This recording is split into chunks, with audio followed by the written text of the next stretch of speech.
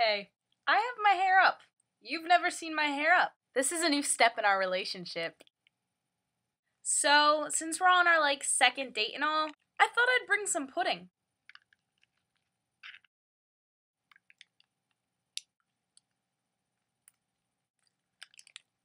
Now we can start. In the past week, four unfortunate things have happened to me. I guess you could say I'm bad luck, because these things, they don't happen to normal people. I guess let's start with last Thursday. HSPAs. If you don't live in New Jersey, you probably don't know what HSPAs are. It's a standardized test that you have to pass or you won't graduate. No big deal. After taking our HSPAs, I can't really talk much about them because I think it's illegal. The school decided to throw the juniors a party. And by party, they mean this really lame get together. But you get to skip class and you get free food. So sure, I'll go. the day before this party, we had to sign up for which food we wanted. There were a lot of different choices. Yay! Me? I wanted the hoagie and Chipotle burrito. Do you know how good Chipotle burritos are? So good! In homeroom, I specifically remember signing up. I was. Uh, yep, I was that. The next day, when everybody got their little tickets to get their food, mine didn't come around because my homeroom teacher doesn't know my name. So instead of asking, she just didn't sign me up for food. Awesome. Thanks, homeroom teacher. I know I shouldn't be complaining because there's starving kids in Africa, but like, it's a Chipotle burrito. Being the aggressive girl I am, I decided to go down to the office and yell. Okay, more like not yell, but just kinda stand there like principal. You see, I I didn't get my Chipotle burrito.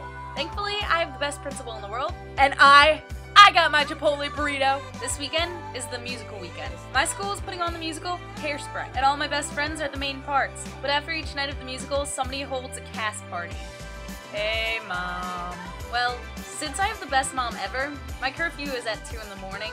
2 in the morning comes around and I'm on my way home. I'm in the back seat of my friend's Camaro while him and my friend Max are in the front. We're having a good time, just chatting, when Max pulls one of these. Look, a possum. We're on a highway going like 50 miles per hour. This possum's face. I didn't even know possums could make that face. Chris, driving and being the idiot that he is, decides to swerve. Three of us in my friend's Camaro, going 50 miles per hour, are now heading towards trees. Ah! Thankfully, Chris got back in control of the car before we hit the trees. Even though we swerved, you could still hear a loud thump. Sorry, possum family. I'd like to take a moment of silence for Mr. Possum. That poor possum family. Yep, that was my weekend. Tuesday we were back to the same old loser routine of Carly Ned.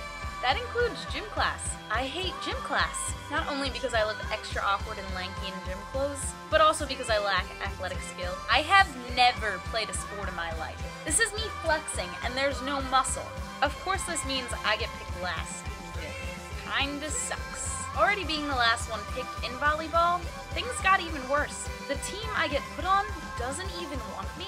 Then I get spiked in the face. In the face! Not only did it happen one time, but it happened again today. I'm starting to think that they're purposely hitting me in the face with the volleyball. Thanks. I didn't know I was a nerd, but thanks for reminding me. Cool! Today even started out horribly. I don't know if I even really want to tell you about pretty embarrassing. My first steps onto the bus today, I face planted. I face planted real hard. I think the bus driver even laughed at me. I'm a terribly sad excuse for a teenage girl. I like it though. D to the L to the A to the I to the R to the E. What's that spell? Claire! Claire's awesome. In case you guys didn't know, I got punked this week by one of my really good friends, Eric. I was over his house, and I guess I left my YouTube on when I left, but he decided to make a video so that when I got back, it'd be on my page. If you haven't seen that yet, you can check it out here. Paige, stop creeping on me. I'm just a freak with red hair. Adios! May the force be with you.